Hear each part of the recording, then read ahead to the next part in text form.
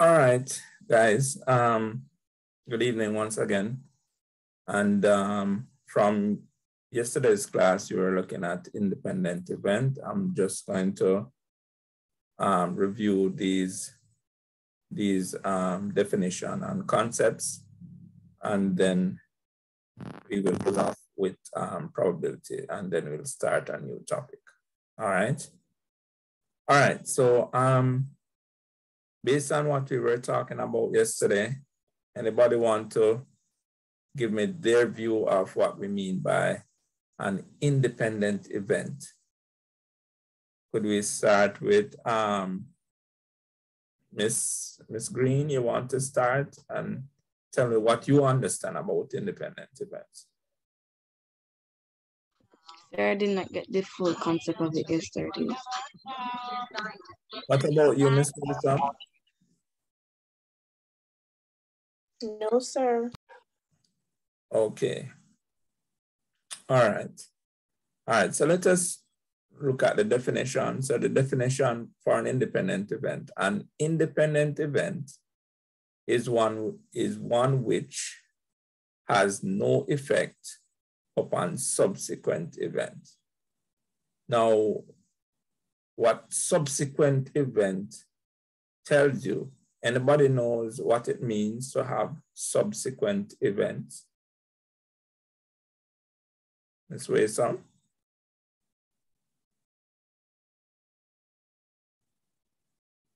No.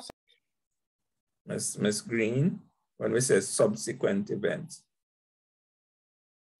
No idea, sir. Ms. Dorothy, are you hearing me?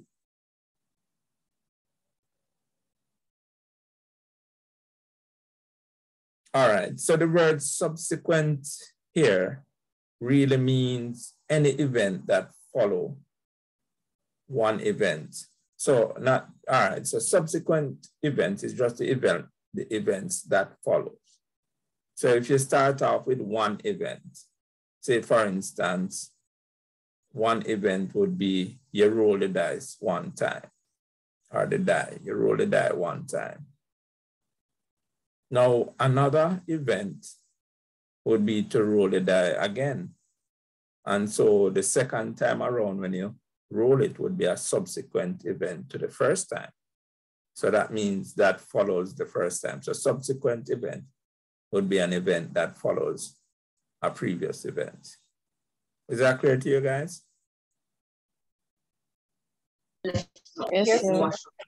Right.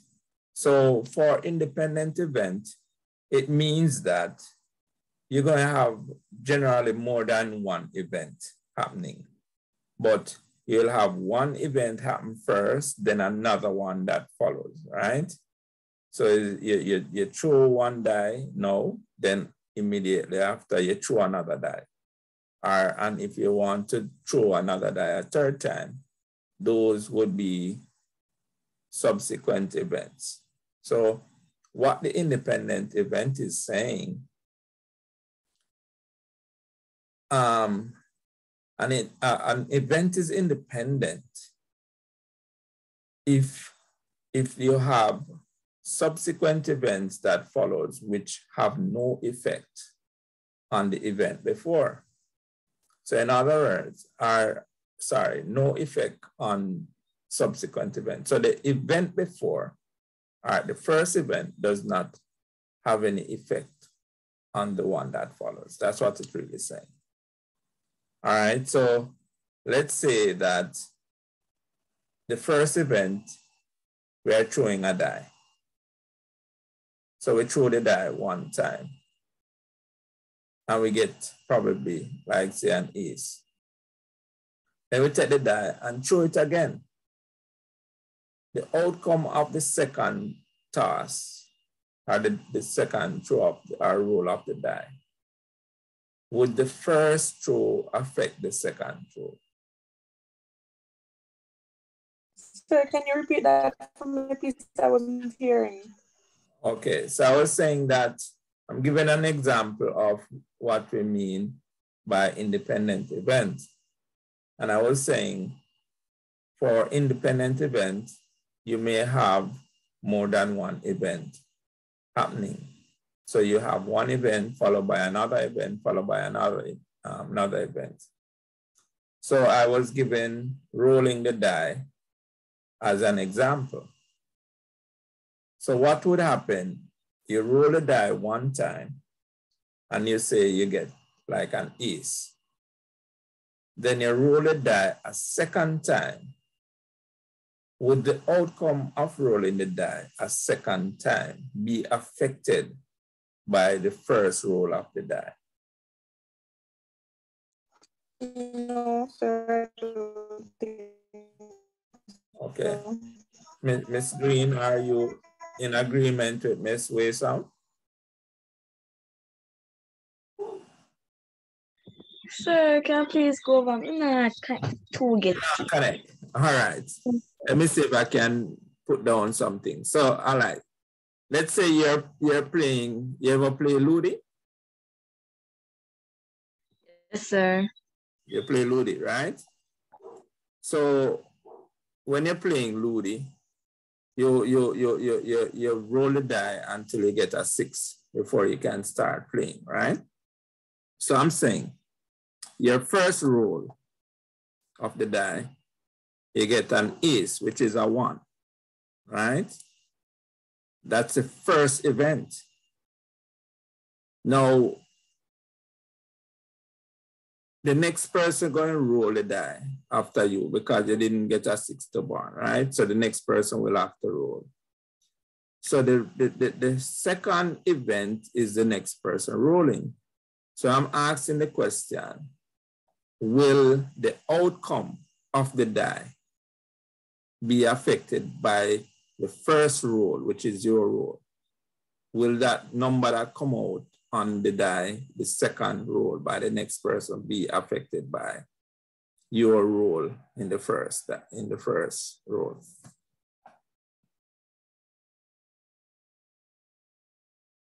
No, sir.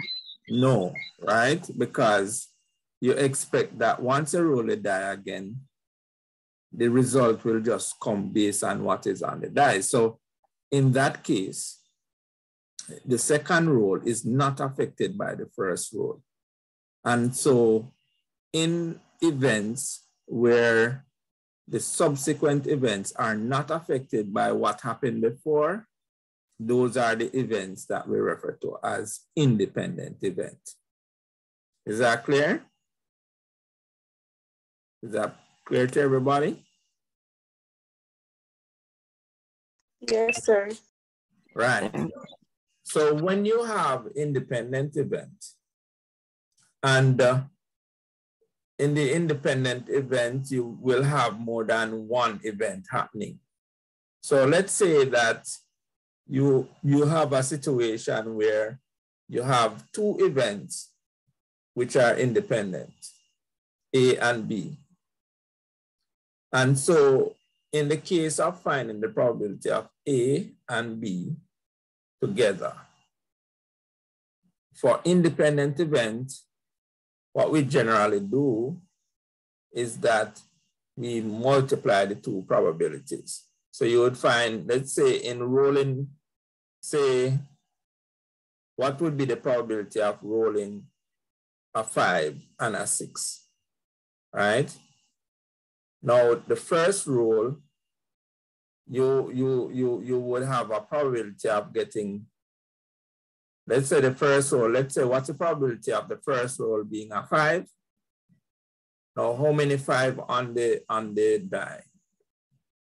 You only have one five on the the um the faces of the die. Now how many faces that the die has in total how many faces on a die six sir six, and you only have a chance of getting one five out of six. So if you roll a die, the probability of getting a five in the first roll would be one out of six, right? So that would be the first event, call that event one. Now, let's say event two now. So event one, you're rolling a five. And event two, you want the probability of rolling a six. So the question now, what would it be the probability of rolling a six? In event two, what would be the probability of rolling a six guy? One out of six just the same, sir. It would be one out of six just the same because remember now, the second roll is not affected by the first roll.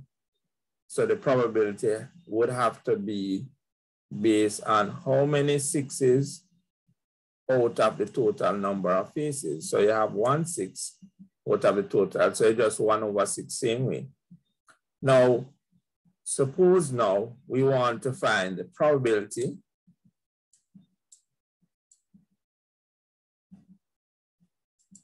If now we are trying to calculate the probability of rolling a five, the probability of rolling a five and rolling a six. Now, what would that be? So this is a case where we're saying now, when you have a probability that you want to find a probability of one event and the key word here is and as and, and another event, then what you should do to get the probability here is to multiply the probability of both of them. Right, so the probability of rolling a five and a six would be the probability of rolling a five, which is one out of six, times the probability of rolling a six, which is also one out of six. And multiply the two probabilities together, multiply numerator one times one, give you one, and, and the denominator together, six times six, give you a what? 36, sir. 36. So you would have 36 here. So, so the probability of rolling a five and a six in terms of two independent events would be one over 36. Is that clear? Yes, sir. Is that clear to you, Miss Green? Yes, sir. Miss, Miss well, it seemed like Miss Dorothy keep um, dropping off. Um, good evening, Miss Brown, and good evening, who else just came in? Good evening, sir. Good evening, Mr. Lamar. All right, so I was just um, reviewing independent events so that um, the concept is clear in your mind, what it is that you're, you're trying to find when we're asking about finding the probability of A and B if the event of A and B are independent. And what I was explaining earlier before you guys came is that for independent events, you may have one event followed by another event and let's say you have one event um, followed by another event has to do with rolling a die. So the first roll would be one event. Now, let's say in the first roll, you want to find the probability of rolling, getting a five. What would be the probability of getting a five in the first roll, Mr. Lamar?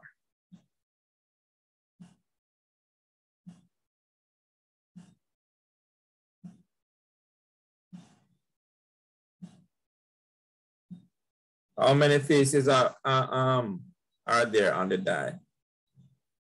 Miss Brown? You don't play Ludi? Yes, sir.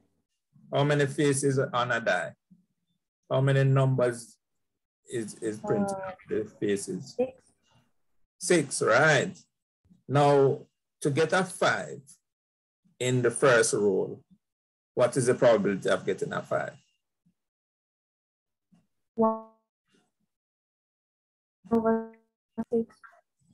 Yeah, it would be one out of six because you only have one five on the face of the the the, the um who or in terms of the entire six faces, only one five you have. So you would have one out of six for the first event. So the first rule, the probability of getting a five would be one out of six. Now, if you are to roll the die again, would the first roll affect what will happen when you roll a die a second time? Will that affect the outcome of the result? And let's say that the second roll, you want to find the probability of rolling a six. Will, will, will the first roll affect the outcome of what you will get in the second event?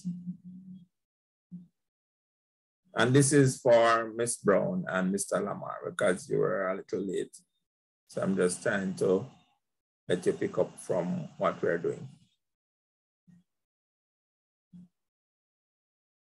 So can you repeat what you just said? All right, so the question is, you're rolling the die two times. The first roll is the first event. The second roll is the second event. If a roll dies the first time, what is the probability of getting a five? You would say one out of six. Now, in the second roll, will the outcome be affected by the first roll? Will that have anything to do with the results that you will get the second time you roll the die? Will it affect the result? If you roll the die the first time and then roll it a second time, will that determine what number play on the die? Ms. Brown or Mr. Lamar? No. What you say? What do you think, Mr. Lamar? Are you hearing me, Mr. Lamar or Mr. Lamar? Mr. Lamar, are you hearing me?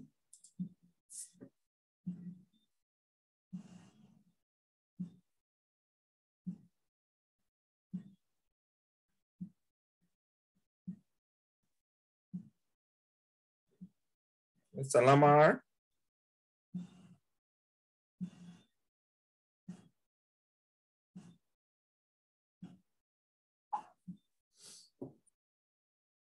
All right, apparently Mr. Lamar is not hearing us or he's busy doing something. All right, Ms. Brown, so it would not affect what we get in the second roll. And let's say that for the second roll, we want to find the probability of getting a six. What would you get, Ms. Lamar? Sorry, Ms. Brown. You said what? So you said what's the possibility of getting a six? On the second roll, yeah. Oh, one, one, one over six? Right. So it will still be one over six because the, the, it, it will the, prob, the, the probability of getting a six will be equi, would be an equiprobable event. All right, so in the first roll, we get a five. The probability will be one out of six. In the first, in the second roll of getting a six, the probability would be one out of six. So we are saying now, when we have that situation, we have what we call independent event. The ruling before does not affect what um, the outcome will be on the second roll. And that is why we call it an independent event because what happened in the second case when your roll is independent of what happened in the first case. It doesn't affect the outcome when you do the event again and again because the die will just come, will just play in accordance to what will pop up, right? So here now for independence event, when we are finding the probability for independence event. So in independent, in this independent event, we have two events that happen. The probability of rolling a five in the first event and the probability of rolling a six in the second event. So to find the probability of independent event are these two independent events, then what we have to do is to find the probability of rolling a five and rolling a six. And so in order to do that, what we do, we multiply the, the probabilities of each event. Both probabilities from each event, we multiply them together to get the probability of rolling a five and a six. Are you following me, Miss Brown? Yes, sir. And so in that case, when we multiply one over six times one over six, multiply the numerator, we get one, multiply the denominator, we get 36. So that would give you the probability of rolling a five and a six. Now, one of the things that I want to point out, when we're dealing with independent events, you will find that we are using the word and between the events. Now, in a previous, um, when we were looking at mutually exclusive event, we used the word or. So for mutually exclusive events, we would have the word or when we are calculating the probability. But for independent event and dependent event, we are using the word and. And whenever you see the word and, it means that you are going to multiply the probabilities of the events together. Is that clear to everyone? Yes, sir. All right. Is that clear, Ms. Waysome and Ms. Green? Yes, sir. All right. Yes, so do you get the concept of an independent event clear? Is there any question you'd like to ask about independent events?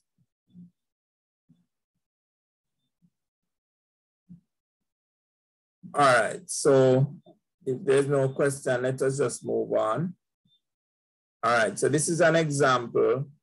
What kind of event is this? we're, we're going to read the question and then you tell me what event it is and why a fair coin is tossed, tossed, and then a card is drawn from a deck of 52 playing cards. What are the two events that happen here?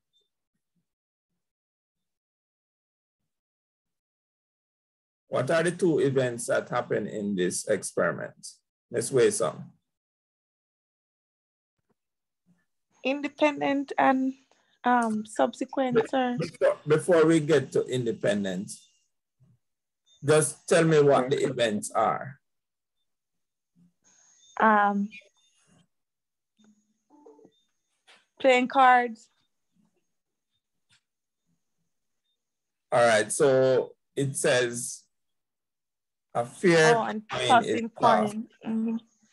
And then a card is drawn. So I'm asking, what mm-hmm. are the two events that happen in here? So I mean, I understand, to be honest. All right, the event is, is actually what, what was done. So what was done? The, a coin was tossed. Coin, the, the card, yeah, and then the, and the, then the, the card that was drawn. Right. So look at what was done in terms of the action coin was the coin was tossed and a card was drawn. Those are the two events. So in in in in, in tossing the coin, will that event affect the event of drawing a card? Will that will, will tossing the coin affect what happened with the outcome on a card? No, so I don't think so. Right, because they're, the one don't affect the other. And that's why we call them what? Independent events. So what I do have nothing to do with what the other thing or the other person is doing. So if I am over here and I'm tossing a coin and you are over there and you're drawing cards, whatever happened with the coins that I'm, I'm tossing don't affect what you're doing with drawing a card. And in that case, these two events are independent. And so if we are finding the probability of the two events, tossing a coin, drawing a card, because they are independent events, what you do, you find the probability of each. And then to find the probability of um, one and the other, you just multiply the two probabilities. So the probability of getting ahead when you're tossing a coin would be one out of two possible outcomes. So you can either get a head or a tail. So the probability going to be a half in terms of getting ahead when you're tossing a coin. What in terms of drawing an ace? So if you, if you, if you shuffle the card and pull a card from top of the pack, what would be the probability of getting an ace? Well, that would depend on how many aces you have in the card, um, the card pack. And we know that you should have what? Four aces in the card pack. And so that would be four out of how many cards in the card pack? So we have four out of, how many cards in the card pack again, Ms. Wesa? 52, sir. 52, and, and, and we have four E's, our aces, then we would have four over 52. Now, can we cancel that down to a simpler fraction? Yes, sir. Yes. So we see that we can divide 4 into itself goes one time. 4 into 52 goes 13 times. 13. And so we know that the probability of drawing an ace will be 1 over 13. Is that clear to everybody?